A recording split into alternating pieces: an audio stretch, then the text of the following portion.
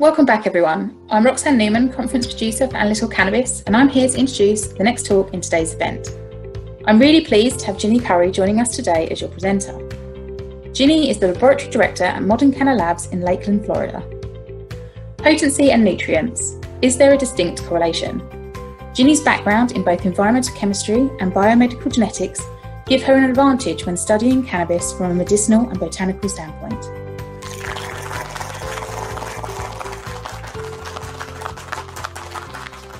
Hello, everyone. This presentation will be focused on the study that our laboratory has and is still currently conducting um, on nutrients in cannabis buds and whether there's a distinct correlation that can be established between those concentrations and the concentrations of cannabinoids. Nutrients are essential. Simply put, for an organism to develop and to grow, there must be nutrients present. When thinking about nutrients in plant growth, it's best to look at nutrients as the food that the plant is consuming. One of the most interesting things about nutrients is that every plant has a unique nutrient profile and an ideal range that the nutrients should fall into. There are 16 essential elements that a plant requires in order to grow. Those elements include carbon, hydrogen, and oxygen, and then 13 additional elements which must be supplied to the plant. The 13 elements that must be supplied include nitrogen, phosphorus, calcium, magnesium, sulfur, iron, zinc, manganese, copper, boron, molybdenum, and chlorine. All nutrients that must be supplied to the plant can be broken down into three main categories macronutrients, secondary nutrients, and micronutrients. When looking at the nutrients in cannabis, horticulturists have identified an ideal amount of those elements in soil for the plant to experience the best growth possible cultivators have done an amazing job of determining the signs and symptoms of nutrient deficiency and abundance in cannabis leaves. Not much research has been conducted regarding the nutrient content in buds and how that concentration relates to the cannabinoid concentration. So, the question is Is there a distinct correlation between potency and nutrients? And in particular, can any correlations be established regarding the concentrations of both cannabinoids and nutrients in the flower that is harvested? Ideally, if correlations and trends can be established, cultivators would be able to properly nourish their chemovars in order to create the best yield. They would be able to test the product for nutrients throughout the plant's life cycle and could in turn determine what elements needed to be added or removed from the nutrition that the plant is receiving. For this study, we first needed to identify the macro and micronutrients that were present in cannabis buds and establish a methodology for analyzing the samples. Next, we needed to determine the concentration of the nutrients in the cannabinoids we were monitoring and look at the differences across many known chemovars. Once the concentrations were calculated, the individual elements were compared to each other and to the cannabinoids and to other strains. Finally, in order to see the big picture across these nutrients, cannabinoid concentrations needed to be tracked over time and across each of the individual chemovars. Once all of these items were done, trends and correlations were examined and established. After running some initial tests on the cannabis buds, we narrowed the focus of the study to look at nine of the nutrients that were mentioned previously.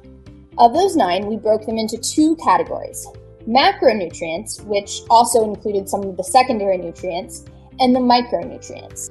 As you can see, the macronutrients included are calcium, magnesium, phosphorus, potassium, and sulfur, while the micronutrients included boron, iron, manganese, and zinc. It's also important to note that we tracked more analytes than just THC and CBD. We also included total CBN and total CBG in order to determine if these analytes provided any trends or correlations. In order to perform the necessary testing, we needed to determine the best way to monitor the nutrients and cannabinoids that we were focusing on. For the nutrient analysis, we opted to use an ion coupled plasma with optical emission spectroscopy. To perform the potency analysis, we used high performance liquid chromatography with UV detectors. The nutrient analysis was conducted using modified EPA methodology for soil, samples, and our potency analysis utilized methods that we have validated both internally and externally. Our laboratory has based most of our methodology on standard EPA methods. At this moment, the study consists of 540 unique samples. These samples were collected over the course of three months, and the potency and nutrient analyses were performed in tandem. Those 540 samples can be broken down into 31 different chemovars. The chemovars include indica, sativa, and hybrid strains, as well as chemovars that are CBD dominant. In order to eliminate an additional variable, all results were dry weight corrected to a standard 12% moisture. For the nutrients, the individual nutrients were calculated. However, the study also focused on the total macro, the total micro, and the total nutrient concentrations that were present. This scatter plot is graphing the macronutrient concentration in percentage compared to the total THC percentage across all of the samples included in the study. From this, we were able to establish that the macronutrients seen at the highest concentration in cannabis was potassium, while sulfur was the macronutrient which had the lowest overall concentration. The average concentration of sulfur was 0.3% while potassium had an average concentration of about 2.5%. Similar to the last slide, a scatter plot graphing the micronutrient concentration in percentage compared to the total THC percentage across all of the samples included in the study was also charted. This graph revealed that though manganese was found at a lower average concentration than iron, the standard deviation across the spread was larger than the standard deviation seen in iron. This indicated that when comparing the concentrations of these two elements across different chemovars, there may be a greater variation in those results than the other micronutrients. Boron is the least concentrated micronutrient and was seen in a less of a spread when compared to the other nutrients. There are several trends and correlations that we were able to establish during this study. However, with the limited amount of time we have today, I will only be able to share some of this information with you. When comparing the total nutrients to the total THC percentage across all THC dominant chemovars, it was determined that a negative correlation may exist between the total nutrients and the total THC. Initial results indicate that there may also be an ideal range to the total nutrients to yield potencies that are in the 20% range. One of the most interesting and noteworthy results was the relationship that was seen between total calcium concentration and the THC concentration in the THC dominant chemovars. Uh, it is clearly apparent from this that there is some indications that would lead to a conclusion that less calcium in the bud yields a higher THC percentage. These two graphs are comparing the individual chemovars to the total macro and total micronutrient concentrations as they relate to THC. All indications point to a similar consensus that the total nutrient concentration in the buds have a negative relationship on the total THC.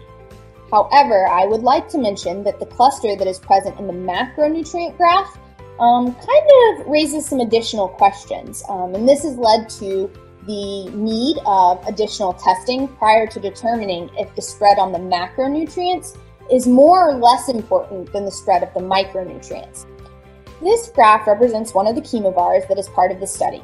For this particular chemovar, there are 53 data points, which can be found along the x-axis. There is a primary axis um, and a secondary axis, which include the macronutrient concentration on the primary axis and the total THC concentration on the secondary axis. The samples have been sorted by THC concentrations going from the lowest concentration to the highest concentration. As you can see, the chemovar did not have a significant change in potassium or phosphorus concentrations, which are in red and purple, respectively. There is, however, a significant variation in the magnesium and sulfur and calcium concentration. The final pieces of data that I would like to share with you today are the indica strain trends that we're seeing. The graph included here plot all the data points for known indica strains that were a part of the study. The top graph contradicts the previous graphs, which have shown that the relationship between nutrients and potency is negative, However, it does support the cluster data that was seen previously for the macronutrients. This may be what is counteracting the negative relationship that is seen between calcium and THC, thus resulting in those cluster points seen on the previous graph. Boron, however, which is a micronutrient, resulted in a well-defined negative correlation similar to results that were seen in most of the micronutrients. With this study, there have been a variety of challenges that need to be addressed prior to being able to publish the data which we have obtained. And some of those challenges include cultivators, growing conditions, and sample aliquots. The samples used in this study were collected from multiple licensed medical marijuana treatment centers, or MMTCs, across the state of Florida. One of the biggest differences that arise with Florida cultivators are the growing conditions in which the product is produced. The Florida market consists of both greenhouse and hydroponic grow facilities, which drastically affect the growing conditions that the plants experience. The final challenge has been the obstacle of standardizing the sample aliquots the trim style and the flower type, whether that be whole buds or little buds or ground flower, um, they, they all have an additional variable that's hard to correct for. And some of the samples in this may have more leaf material than others, which could also lead to potential data skewing. Um, and so that has to be monitored as well. Trends for individual nutrients are clearly present, both negative and positive. However, at this time, the full extent of those trends is not yet understood. There is a negative correlation that can be seen between calcium content and THC concentration in cannabis buds. The total nutrient concentration in buds compared to the total THC is showing a similar trend to the one mentioned above, comparing the calcium and the THC. The ideal ranges for the nutrients in buds cannot be determined without more research. With that being said, we do plan to continue this research prior to publishing the full extent of the results um, that we've obtained up to this point.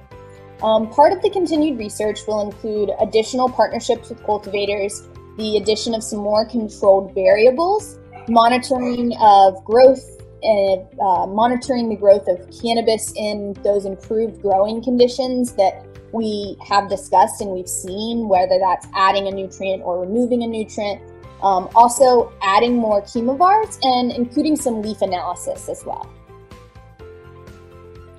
The following are the references that were used for this study, and I would like to give a special thanks to the individuals at Analytical Cannabis for this opportunity and to my team at Modern Canna for all of their help with this study. Thank you for your time.